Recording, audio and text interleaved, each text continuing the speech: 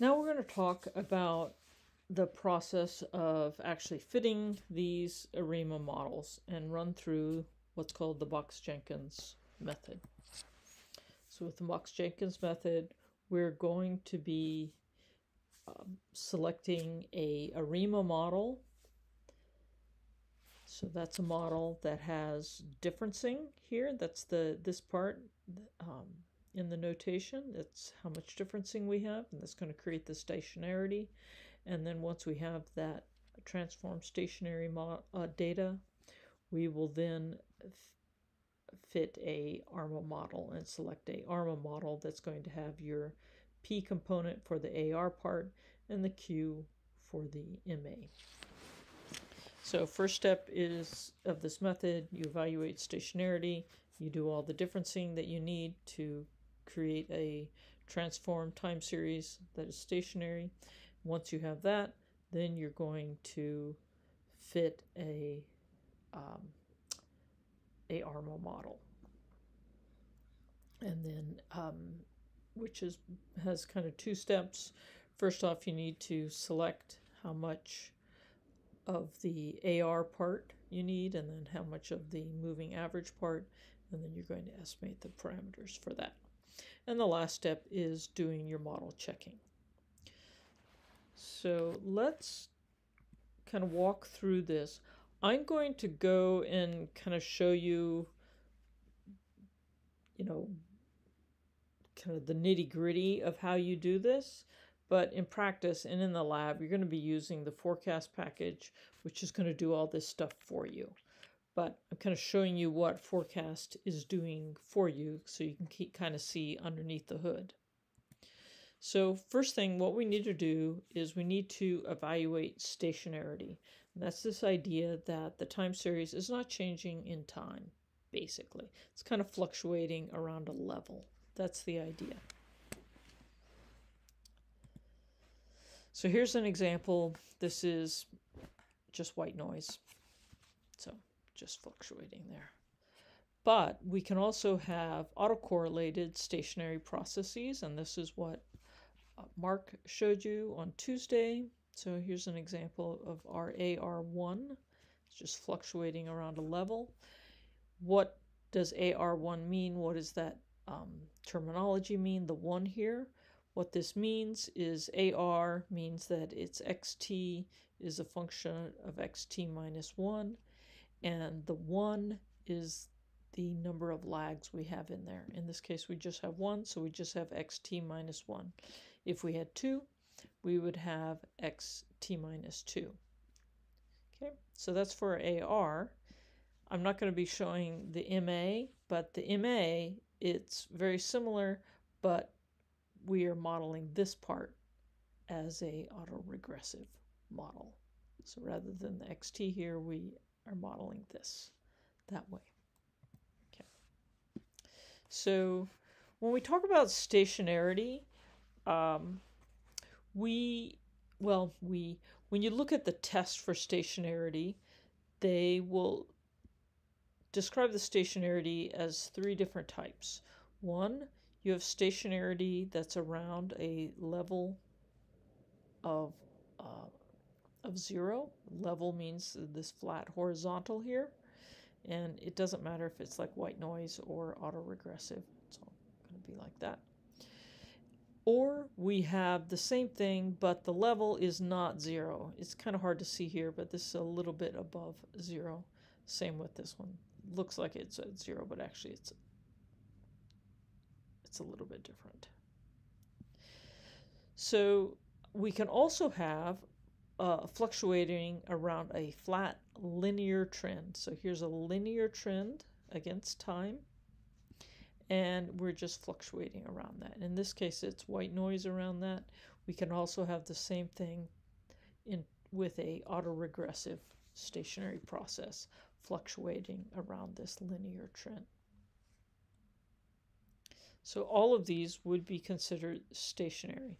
You look at this and say, hey, that's not stationary. It's, it's going up in time. But mathematically, it'd still be considered stationary because it's just fluctuating around a, a linear trend. Mathematically, looks like this. Let's start with the white noise. So here's our white noise. So we started out with the plain white noise, which is this equals this independent errors. And then if we had it fluctuating a non-zero around a non-zero mean, it would we just add that to it. Around a linear trend, we add that plus that.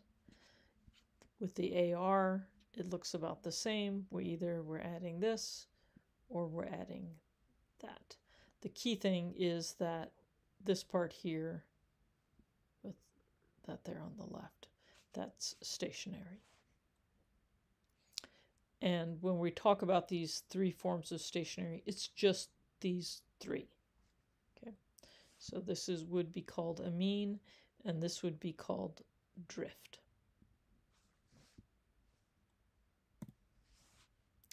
Now let's look at non-stationarity. So the classic one we're going to be looking at is a random walk. And you saw those on Tuesday. Here's one.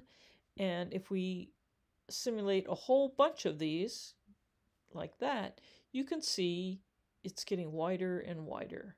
It's not like the other ones. It's not just fluctuating around a level. It's they're actually kind of changing over time, getting wider here.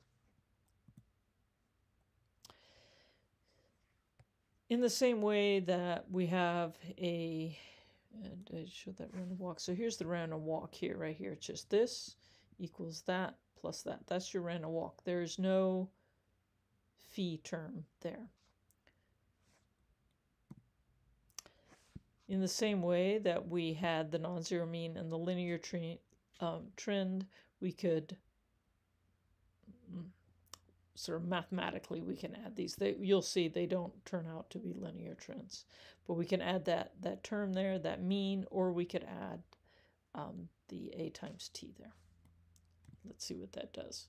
So when we do that to a random walk, we just add those terms. It behaves really differently. So here, here's a random walk, right? This one's stationary if we add that non-zero mean, all it does for this one is it sort of shifts it up or down.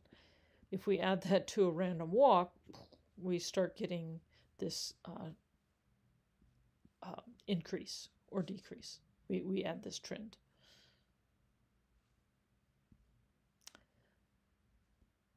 Okay, I see that in this one, it's not really obvious that it looks here like this is a trend, so I think I, I would have needed to simulate this a lot longer. And if I had done that, what you would see is that this this one is is kind of going up more than this one.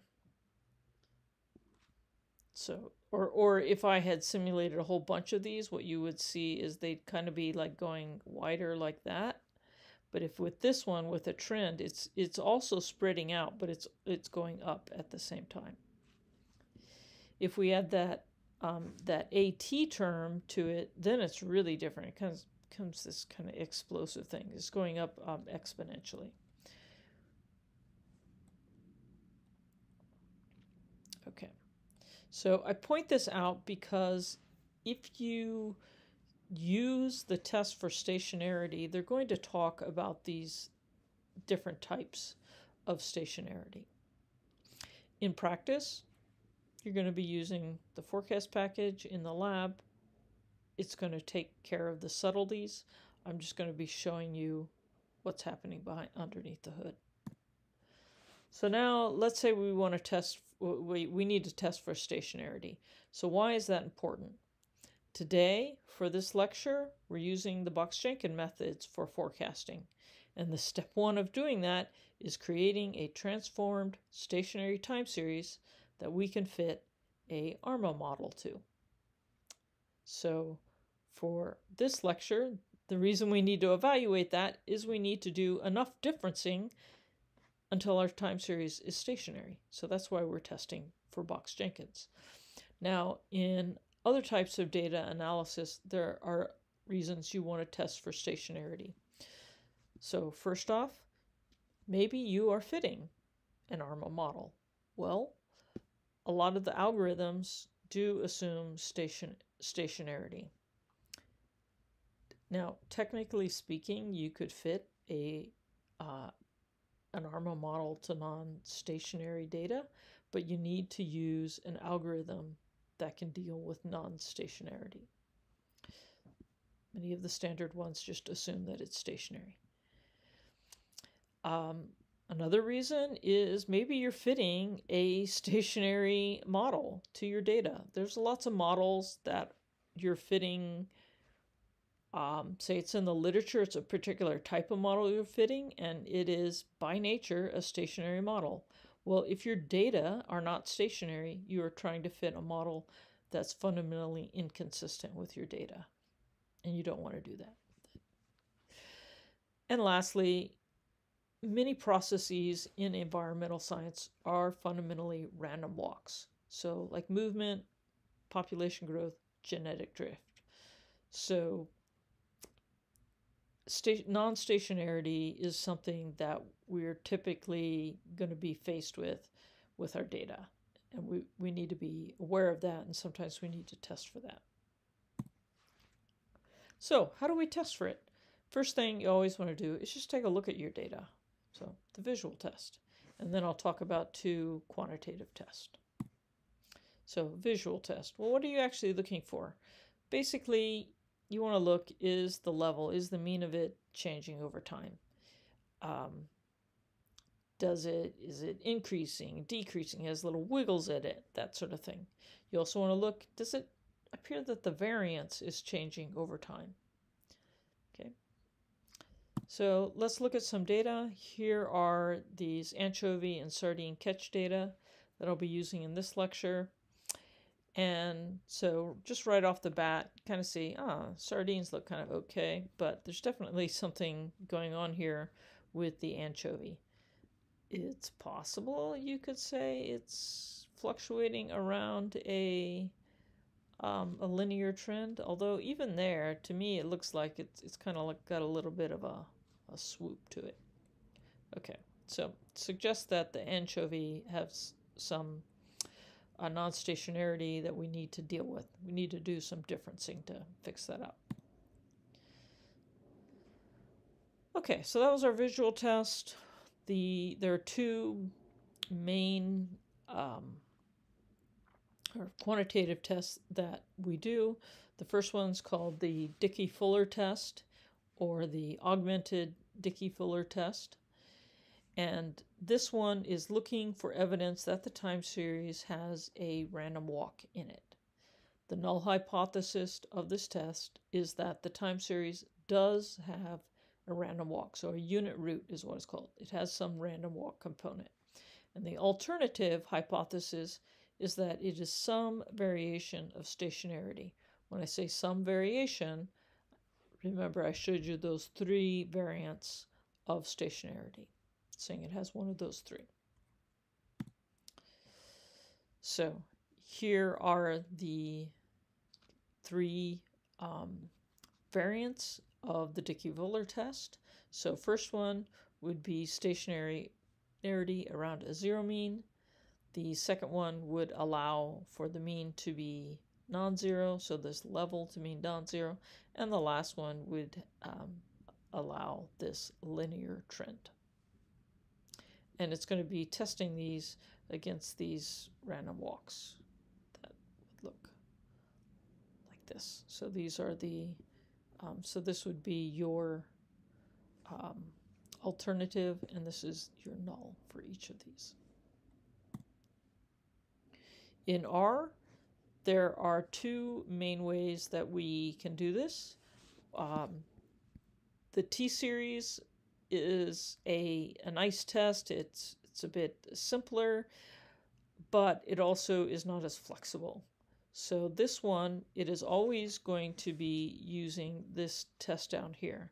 It's kind of your your most kind of complex version like it's most flexible let's put it that way most flexible it's going to allow both this constant and it's going to allow a trend so so here it allows both of them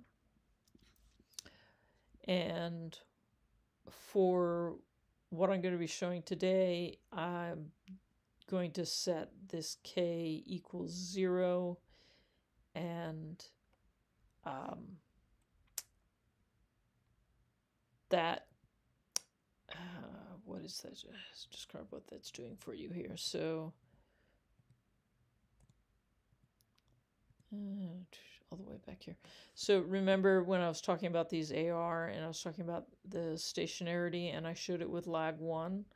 Well, um, for the Dickey-Fuller, if you set the K equals to zero, it's it's fitting something that looks kind of like this.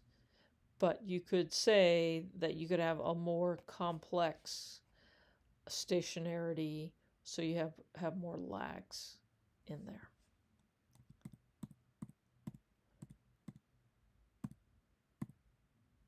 For the examples for the lecture, I'm just kind of simplifying it, so setting that, so it's just, it's not a more complicated stationarity test. All right, so um, here we go for those anchovies. We know it, it has a trend in there. And what you see here, here's the alternative hypothesis. It's stationary. We would like to reject the null. And you could see at the 0.05 level, it's we're weakly, we're not rejecting it. So that's not good. So that's not what we want. As I said, there are these three different types of stationarity. And there is another test that you can use in R, another package, and it's called this, it's this package here, and this is the test. Um, this is standing for Dickey-Fuller, and in this version, you have a lot more control over it, so you can select the type and be specific to either none, you have that mean, or you have that linear trend. So like that but um, kind of deciphering the output of that test is um, uh, it's not intuitive to say the least. I put a few slides in here, um, kind of for the record. If you ever had to do this, you could look it up, but I'm not expecting you to actually um, do this this test directly. The forecast package um, will be using um, this because it I'll describe how it needs to have access to this fine fine finer control of the stationarity test. So anyhow, blah blah blah. This is all the stuff just to be able to interpret the output from that test. You can see it's kind of painful. Okay, so let's go to the next test. This is a KPSS test, and this one the null hypothesis is that the time series is stationary. So it's op opposite to the Dickey-Fuller. And um, the alternative is that it's has, well, the alternative that it's not, not stationary. So some kind of random walk. So for this one, this again with the tseries package, here's our null. And we have these two options here. So this first one is that the um, it's fluctuating around this horizontal level. And then the second one is that it's fluctuating around a linear trend. Okay, so um, if you really care um, to make sure it's absolutely, you know, satisfies the stationarity assumption, you would want to be able to pass both of these tests.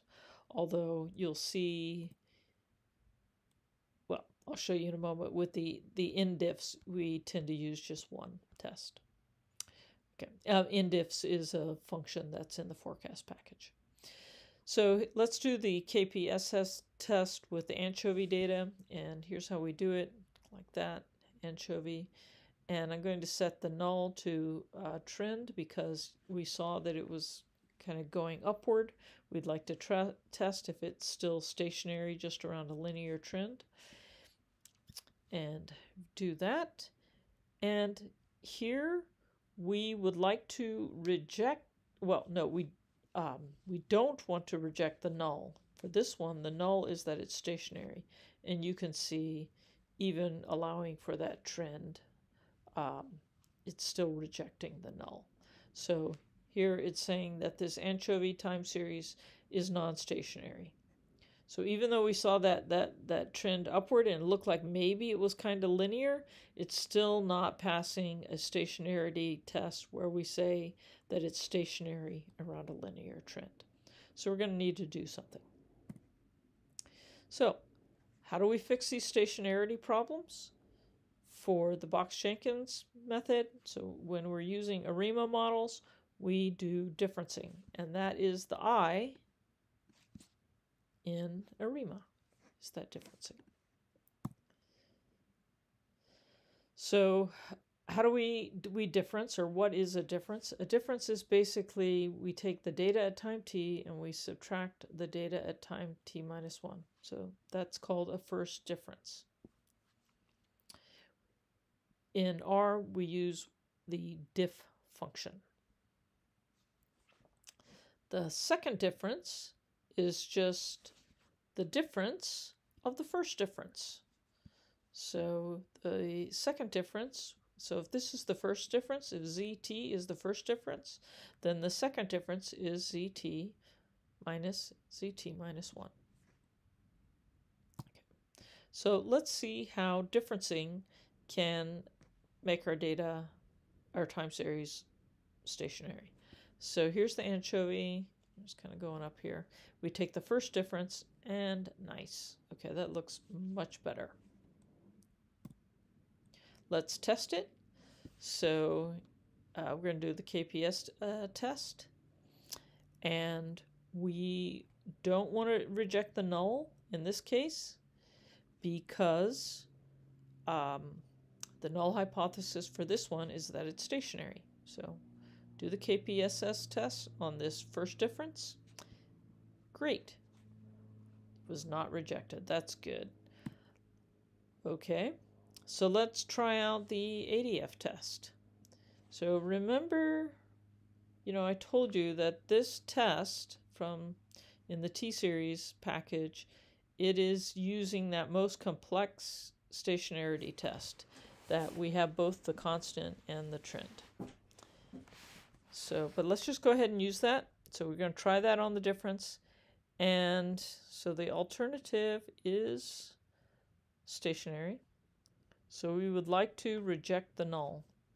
Ah, we didn't reject the null.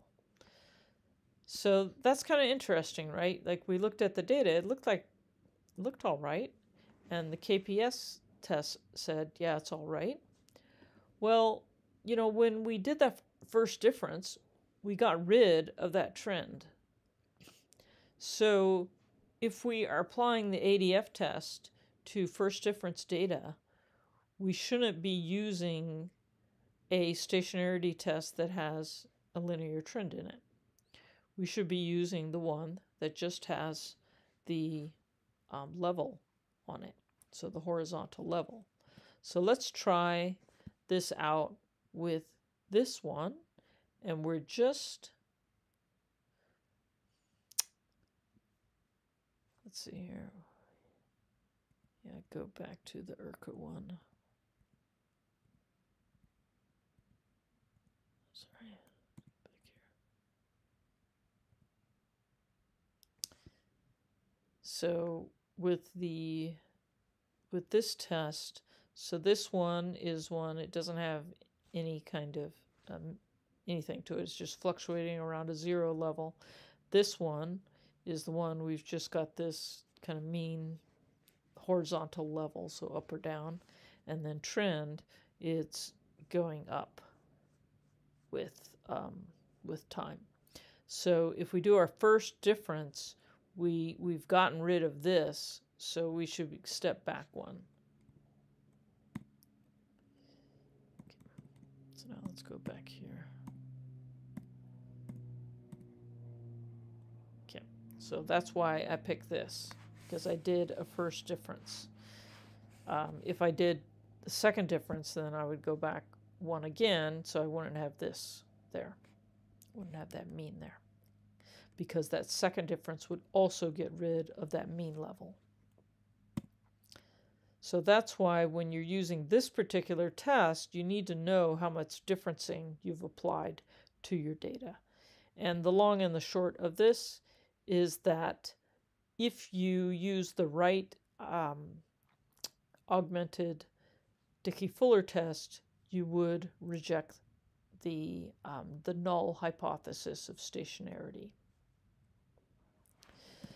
Okay, so that's a lot to remember, right? So fortunately, the forecast package will take care of this for you. So um, this function here calculates the number of differences you need to apply to your time series to make it stationary. And you can choose the test. It'll uh, use uh, three different tests. You can use the KPSS, you can use the augmented Dickey-Fuller, and it also has a third one. I'm just going to show these. And you can see that for both of these, it's showing that we need one, um, one difference. So we use the first difference. And so notice here that when I use this test, it's showing one here and one there. So what's going on here is that forecast knows that, um, you know, it's calculating the first difference. So when it when it tests using the augmented Dickey-Fuller on the first difference, it knows to not include that trend. And if you were doing the second, if you did the second difference, it would get rid of the mean level also. So it's doing that for you. It knows which one it needs to use. Okay.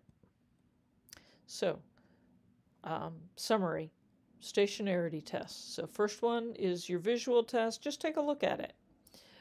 And then uh, after that, you um, apply a unit root, root test.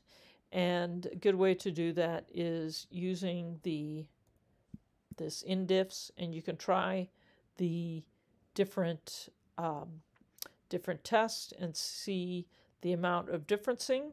So what you would like is that it comes up with the same amount of differencing for all of them.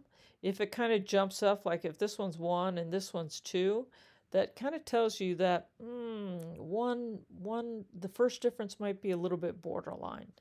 And, um, you know, it's kind of a borderline between needing one and, and two differences. So, so if it's failing one of them, try a, a second difference or sometimes you um, you might actually have to do something a little more complicated. And if it's still not passing, well, that is really kind of um, uh, that's kind of bad. Um, take a look at your data. It should be obvious that there's something really weird going on with your your data. Okay, so now we have uh, figured out the level of differencing that we need. Next thing, what do we do? So now we need to fit the ARMA model to our transformed data, to our data that has been differenced. On Tuesday, Mark talked about using the ACF and PACF to visually infer them However, in practice, when we're fitting these, we um, we use model selection. So we kind of use this to understand our data. It's definitely good to do this to see if there's anything strange going on with them. But then when you're actually picking the model, we use model selection. And the basic idea is that you fit a whole bunch of models and you use some model selection criteria to fit the best one. Fortunately, in the forecast package, the auto ARIMA function will do all this for you. So let's see how the auto uh, the output for the auto ARIMA would look if we're doing this for the anchovy. So we're going to pass in the anchovy to it, say auto ARIMA, and what it is saying is just to do a first difference and then we have some um, uh, autocorrelated error on it. That's what that MA is. This is talking, this, the MA part is our error part. Okay. And then the with drift part, um, as I say here, it means that the mean of the anchovy first difference is not zero. And when you do a first difference and you have drift, what that is telling you is that your, your data are going upward like those uh, anchovy data.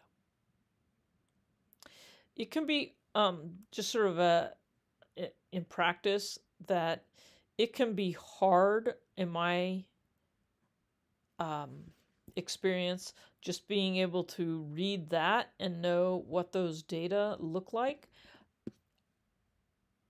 I can now because, you know, I've worked a lot with these models, so I recognize that. But I think when you're beginning, what is helpful is to simulate the data and take a look at it. So you, you use a you fit something and then you're going to use ARIMA sim and simulate from that so you can see what it looks like.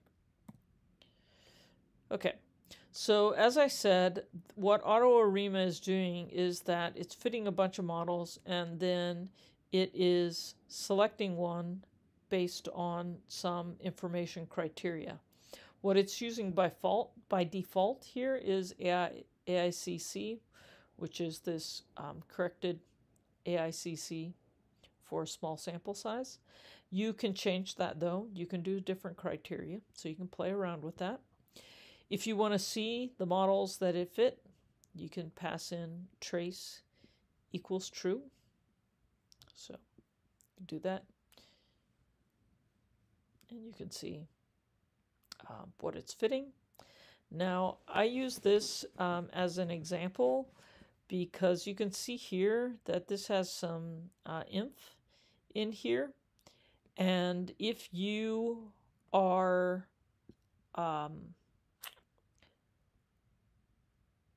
so like for the lab like you wouldn't wouldn't dig into this harder but if you're using this like in a real analysis you would want to um, actually go and kind of dig into the these these infs here sometimes they're real sometimes something happened and um, there's actually a an actual value for the AICC and you could get that if you like try to fit that model directly. Okay, that's just kind of details. Just thinking, you know, if you are, you know, using that um, in practice, don't don't worry about it for the lab. So in this case, um, as I said right here, let's look at this. This is the model that it selected. And let's write that out mathematically. This is what it is. So it's saying this first difference here is a model where we have this moving average, and I told you that's the error here. So that error, this is the error here, that error there is autocorrelated. That's what that means, okay? It's autocorrelated. Includes both this value here and the previous value. And it also has a mean to it. So let's um, let's now try using AutoArima with some simulated data so we know what the, the truth is, and let's see how it does. So we're going to simulate with ARIMA Sim, and it what does it take? It takes the number of time steps, and then it also takes the model, and we pass that in as a list, and we pass in the AR part, and we could also pass in the MA part, but I'm not going to do that. Um, so it would be the same. It would be MA equals, you know, however many um, lags. So in this case, we're just doing the AR, and we have the first phi, and then this is the second phi. And did I write down? Oh, okay. Okay. In um, when we meet on the in in person I will write down what this is mathematically. So basically we've got it's it is the um, x uh, t at time t equals 0.8 times x at time t minus 1 plus 0.1 times x at time t minus 2 plus some error. So that's the model, has these two lags in it. And this is some simulated data from that. And now we can fit this to that simulated data. And to make things a little easier for AutoArima, I um, am going to tell it don't do any differencing. I just want you to try to fit a um, basically an ARMA model because I'm setting I'm saying no differencing, so I, am basically getting rid of that. Okay, so how does it do uh, if to the simulated data? So what it estimates is that the best model is, it's the right form, right? It's just got AR. It doesn't have any MA in it. That's good. Um, but it says that I only have one lag here. So I only have X at time t minus 1 in there. I don't also have the X at t minus 2. And, um, okay, I guess that's not terrible. All right. Um, it also has a mean in there. Hmm, okay. Well, there wasn't a mean. You see, I didn't put a mean in here. Um, but it had it in there. Okay. So key thing here is that it's choosing this AR1. It's not an AR2. So let's do 100 simulations of this and see how it does. So I'm just going to run this little simulation. And this these kinds of simulations are really, really great for you to understand how um, how your proposed method for analyzing some data, how, how well that works. So we do these kind of little simulations all the time so, to understand what our, how our proposed method might work.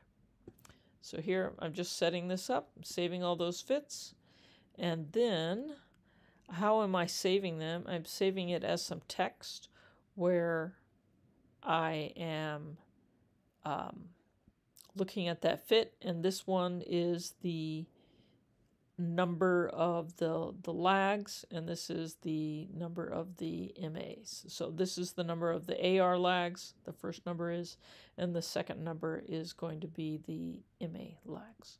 What I want is I want 2 hyphen 0. So let's see how it does. So here's all the fits. So out of those 100, 74 times it picked an AR1, 20 times it picked an AR2, and then um, every so often it picked e even more complex ones.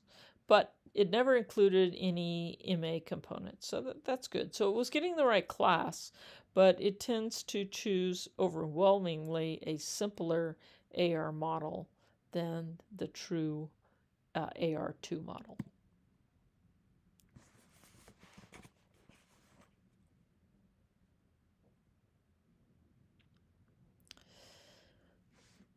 Okay, so this is just a point that when um, AutoArima is being used, it is um, sort of to speed things up, it's using an approximation. And when you are doing your final fit, you want to turn that approximation off. So you just say approximation false, um, and uh, you also want to turn off the uh, stepwise. So that it's going to take longer, but it's going to fit to a much larger set of models, and you might find a model that is uh, better, as in has a smaller delta AIC, than if you use the approximation and use the stepwise on. Okay, so, summary um, you can use AutoArima, just, you know, just use it and not like poke into your data with ACF and PACF to fit your models. But it's always good to do these kind of visual diagnostics by running these two functions on your data just to understand it better and to make sure that what is coming out of the best estimated model with AutoArima does match what you're seeing with these two visual um, sort of diagnostics. Okay, so, last bit model checking. What are the kinds of model checks that we do um, when we're using the Box Jenkins method? So, um, th- this is, you know, checking the residuals is something we do whenever we're fitting models. It's a basic test that we do. And the residual is the difference between the expected value of um, x at time t and the data. Now, in an ARMA model, there's actually no observation error. So the expected value is the expected value from the data up to time t minus 1. This is, um, I mean, it may seem kind of like a technicality, but later we're going to be talking with about state space models that do have observation error. And when we talk about that class of model, then we have kind of two types of residuals.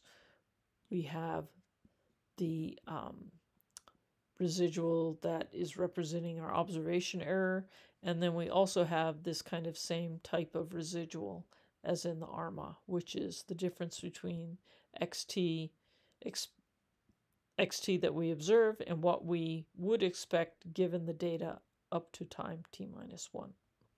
So these, these kind of residuals are kind of what it's called one step ahead residuals.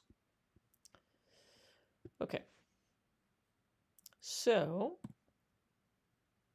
whenever you're working with fits, you're going to be using what's um, what's called the residuals function. Basically, all fits that you use, whatever like types of fits that you use, they're going to have a residuals method. So you just run residuals on your fit. So from the forecast package, it returns this forecast object. You say residuals on that, and there you go. These are your one step ahead residuals. If you wanted the um, expected values, so you wanted that forecast, the functions you would use for that is the fitted function. And residuals then would be the difference between your data and fitted. So if you just took the difference there, you would get what's coming out of residuals. So, standard residuals test. First thing, just plot them. They should look roughly like white noise. Second, look at the autocorrelation function, the ACF function. They should be uncorrelated. And lastly, look at the histogram. So um, normality is a common error assumption, and if that is the error assumption, then they should look roughly normal. The forecast package has a nice function called check residuals. It will do these three tests for you. So here we go.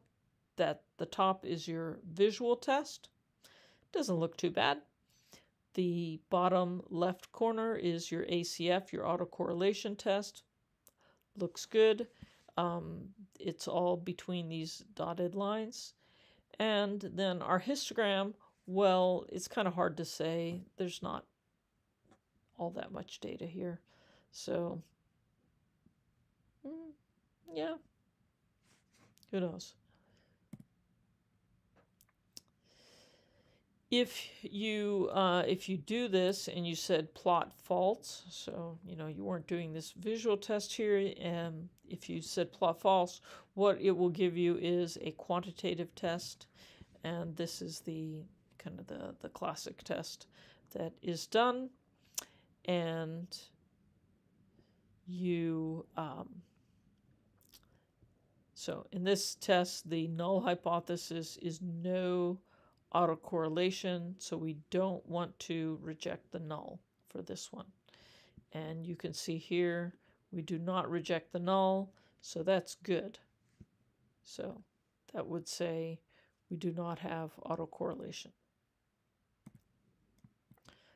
All right, so that's just your kind of whirlwind tour of using the Box Jenkins method. As I said, we're going to be using the forecast package, which makes all this uh, really quite easy for us.